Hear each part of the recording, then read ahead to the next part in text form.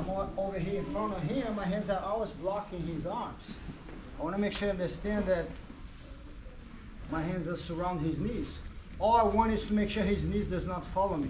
Frame, I move out. Frame, I move out. I want my body to be outside. Now my weight pushes him to the ground. Here we go.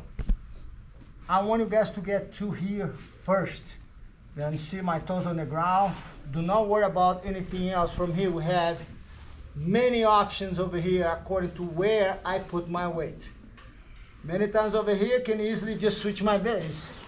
I'm on his side. Many times over here, just base here, block his leg, go around his back. Many times here, most of the time, I just go forward. But I want you guys to get this position. He gets in, right here. Move. Now bring his knees to the side. And we go.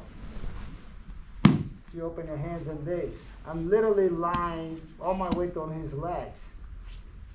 And now, whatever movement he does, I can count and look. And if you go so on his knees, there we go, side control. It's my weight on him. Are your knees off the ground when you're lying with your weight on Yes. him? Yes. My knees, when we have it put the weight, my knees barely Okay. touch. I'm, that case now is my hip. Don't worry about your knees, just make sure your hip is glued on your partner's leg. Here, the side, my hip glue on his legs. Yeah, toes on the ground. Can he put me back on the guard? Sure, he's gonna move and put me back. Okay? What your weight does is slow down your opponent's movements. That allows me to see it, drink a coffee, move left, move right, because you slow your opponent down. Okay? You got it? Frame, I move, drive to the side, right here. And you notice, tell your opponent to do whatever he wants.